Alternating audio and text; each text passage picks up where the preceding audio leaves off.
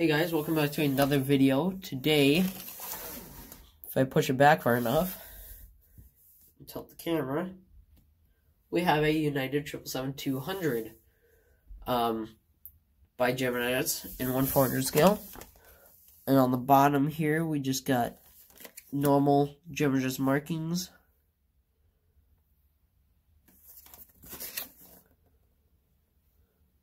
On the entire thing.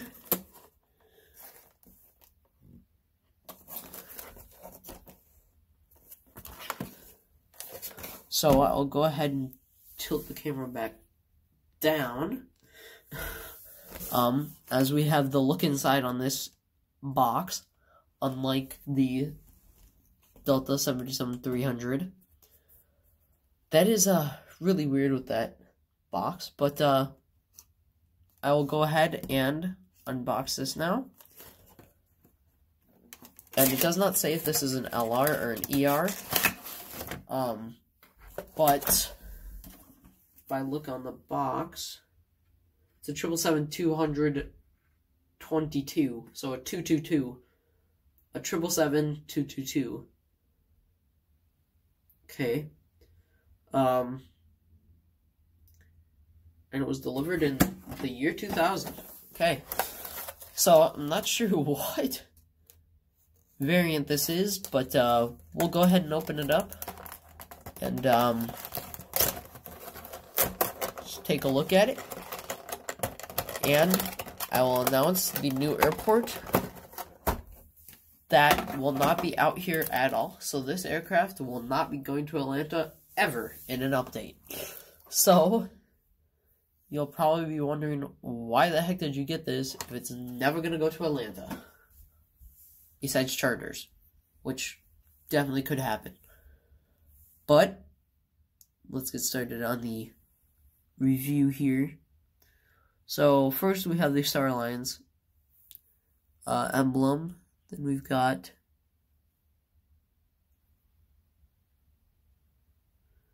focus. It says I'm not sure I cannot read that. It is way too small print. Now on the bottom here, it says triple seven two hundred. And then we've got the the new livery United with the hold on, let me get the type of engines. We've got the Pratt and Whitney 4070 no. Yeah, 4077s. And here we've got the no overwing exit at all. So there's not the emergency exit path. Then we've got two antennas on the top, a third antenna in the Wi-Fi box. And then we have the United Globe Tail, the new Globe Tail. And then we've got the registration, November 210 United Alpha. Um, and then on the bottom here, it's just a whole lot of gray. And the blue stripe on the front, the Jets logo, and the stand hole. Um, but the reason why I'm getting this aircraft is because if I tilt it down here, I will be modeling a new airport, and it is a United, uh, well, I wouldn't say hub, but it is definitely a majority United. So I will be ordering possibly two, maybe even three more United aircraft, all in the new paint scheme, um, for this airport. Um, also, Korean Air flies triple sevens there, and a um, Philippine Airlines flies A321s there, and also Asia Pacific, I believe.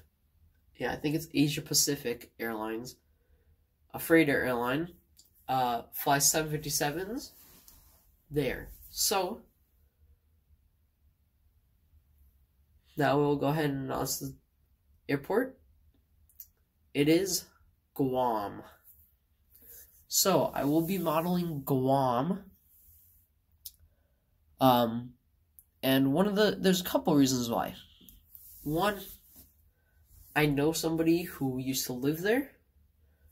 Um, two, it used to be a majority controlled by Northwest, and I really loved Northwest.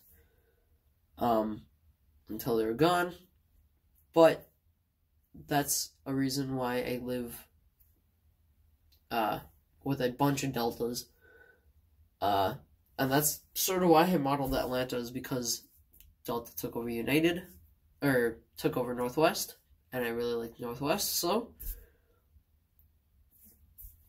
I modeled that. So the reason I'm modeling Guam is because I knew somebody who lived there. Also, it's not too big of an airport, so I'll have a smaller airport and a major uh, international airport. Um, and then also, I wanted a project to do. Um, so, I will be starting on that airport soon, I hope. Um, I am already getting the more expensive stuff out of the way, which is the aircraft. Um, plywood has definitely gone down in price, uh, which is a good thing. Which means that it will be easier for me to make the airport and cheaper for me to make the airport. And also, I will be changing it up and not using Sharpie. I will be doing a printed um, image of the airport. Um, so I'll have the taxiways and everything already in. I may even buy a terminal for it or get one 3D printed for it, um, which that should be expensive, but I'm hoping to save up for it.